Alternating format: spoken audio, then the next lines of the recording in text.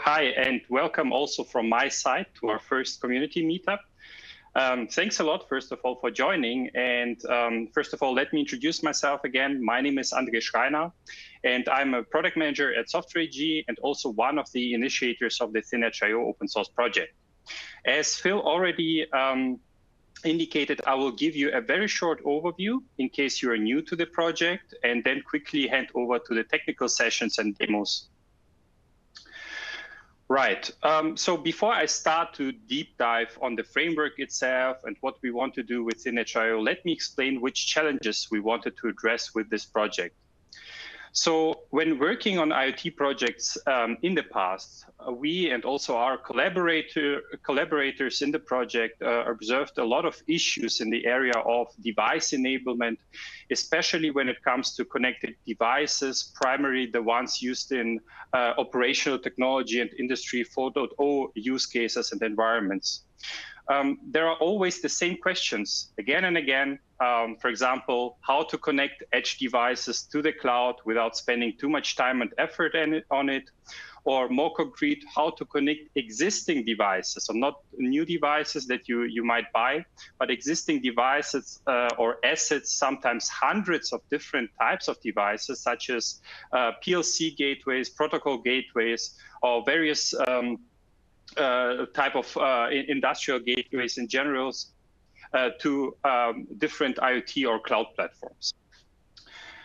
So now let's take a more detailed look on those challenges that, that I mentioned. So first of all, um, what happens is that cloud connections become more complex than initially um, um, yeah, a thought. So uh, cloud connections for uh, such type of devices that I mentioned uh, can become very complex developments, especially in the embedded or uh, resource constrained uh, devices. So when development teams work on this topic, it usually requires them to overcome challenges such as making sure that the connectivity is reliable and secure, um, while for few teams, this might seem to be a simple task, for most cases, uh, we learned that this is a, a complex because there are um, security reliability challenges, uh, there are hard dependencies on certain frameworks and, and coding languages, and in general, um, there is often a lack of software uh,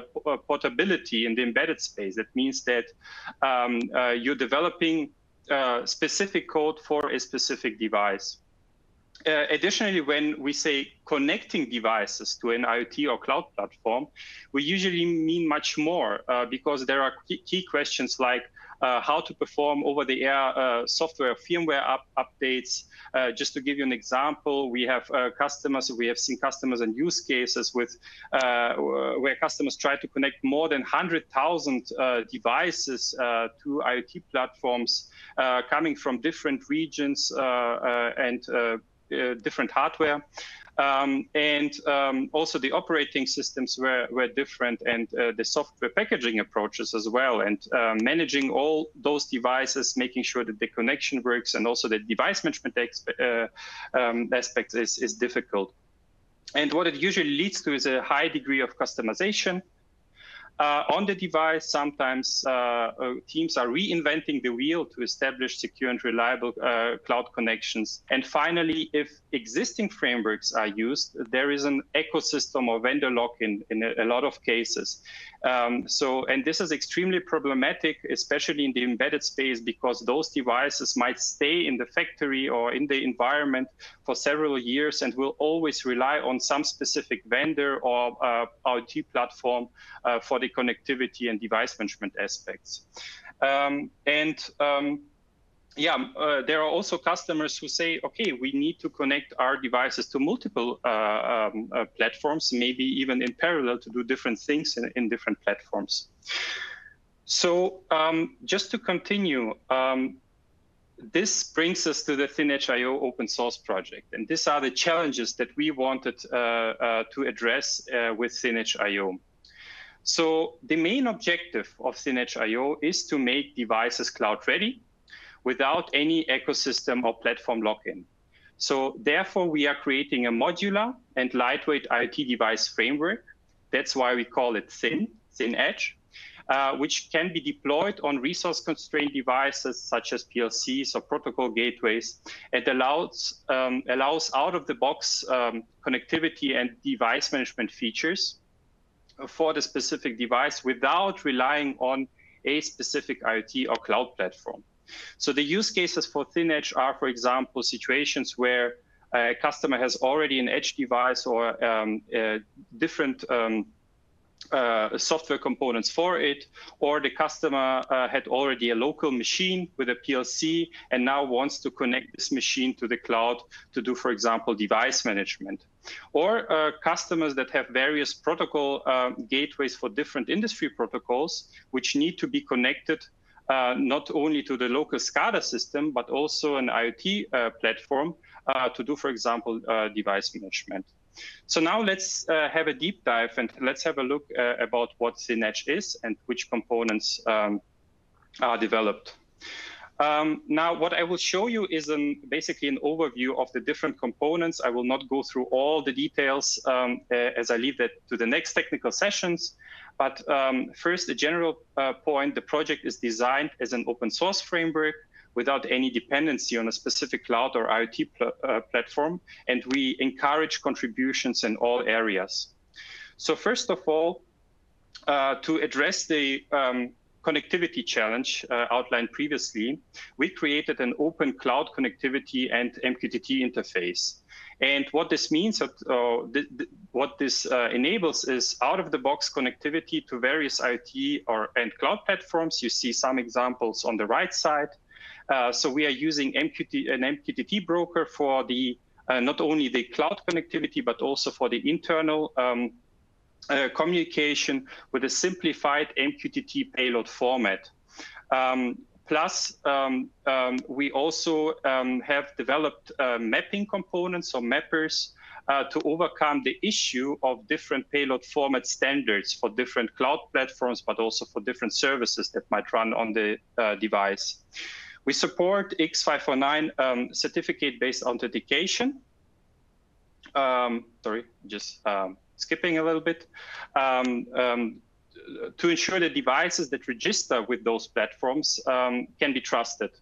And to ensure ease of use, and this is what you see uh, at the top, uh, we instead of writing uh, code and configurations, ThinEdge contains a easy to use command line interface so with few commands, uh, you can connect your device and do other types of operations. You will see that later in the demos.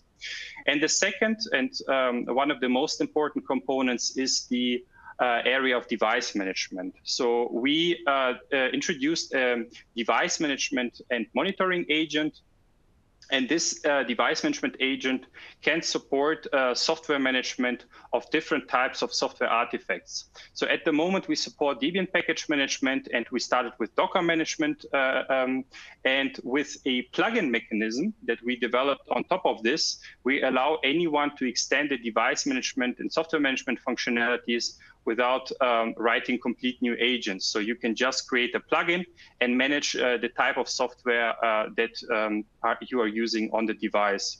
Also, we have a monitoring capability which allows you to monitor the health of uh, your devices and proactively initiate actions in case uh, the device seems to malfunction. Now, coming more to the to the left side of the diagram, the ThinEdge components that I described can coexist and run next to other applications and components running on the device, which is usually the case. So uh, what you see on the left side are some examples for software that might run on, on those devices, PLC runtimes, protocol drivers, or existing applications that uh, are already deployed and running um, on the device itself. And um, we also, um, with using MQTT as an inter-process communication, open up the uh, capability to deploy additional um, services or modules or components on the device. So things like um, streaming analytics engines or uh, machine learning um, components that can interact over MQTT with other services and also the uh, cloud or IoT platforms. Now, um, summarizing the advantages, um, so we want to give you a complete freedom of choice. Um, so um, using uh, the platform, um, you can, or using ThinEdge.io, you can decide for yourself which IoT platform you want to connect to. Um, we also keep it completely open, which uh, programming language you want, uh, you can use to extend the functionalities of ThinEdge.io. So we are not limited to a specific programming languages. Uh, language components can be written in any language. And the same um, applies to the message payload with our mapping mechanisms or uh, by using the simplified ThinEdge JSON uh, payload format, you can also um, yeah, overcome the payload problem um, and map to different payload standards. Um, we also want to make sure that ThinEdge can be deployed on most platforms. Right now, the focus is on embedded Linux systems. And um, uh, with ThinEdge.io, you also don't have to reinvent the wheel when it comes to device management. So we provide you, as mentioned, uh, out of the box uh, software management uh, capabilities with a plugin mechanism, so that can be easily extended. Uh, and the same applies to firmware management and configuration management uh, topics that we are planning to cover in the upcoming um, releases. And we also bring in the generic monitoring capability. And one uh, last point, the, the, key area for ThinEdge.io is to be efficient. So we want to be as lightweight as uh, and as efficient as possible when it comes to uh, resource consumption. So we are targeting embedded systems and we do not want to occupy too much resources that might be needed for other uh, processes. Um, and therefore, uh, being lightweight is a is a key focus of the project. Now, taking a quick look on where we are today. So this is uh, a little bit of a timeline with uh, all the versions that uh, were published so far. So we started in um, beginning of the year uh, with the first preview in March, where we uh, implemented the uh, all the MQTT interfaces and also introduced the ThinEdge JSON payload format with the mapping components first for um, uh, but also uh, in 0, 0.2, we uh, directly added the support for Azure IoT Hub, and we're working on uh, new um, um, yeah, cloud mappers to support other cloud platforms. Um, uh, device authentication via X5 device certificates uh, was there from the beginning. Right now, it, it, can be used very easily to do prototyping work, and we are also planning to extend it, and you will see more uh, around that in, in the upcoming demos.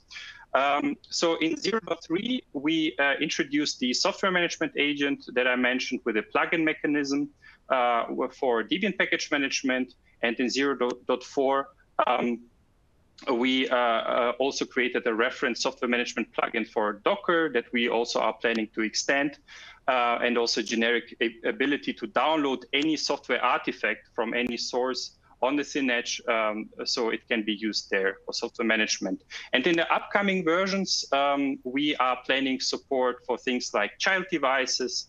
Uh, we are planning also to extend the ThinEdge JSON um, um payload format with um, additional capabilities like handling events and alarms. And, and, there are some minor things like log reporting or configuration management uh, that will come soon. So last slide. Um, now coming to my last slide, I want to encourage all of you to join our mission and to support this initiative. We believe that within ThinEdge.io, we are addressing a real industry problem by creating an open and cloud agnostic standard for edge devices to simplify the interoperability between OT and IT. Um, and um, ultimately, this should allow any product to be simply and securely connected and managed by any IoT platform in an open way. Um, thanks, and now handing over back to Phil.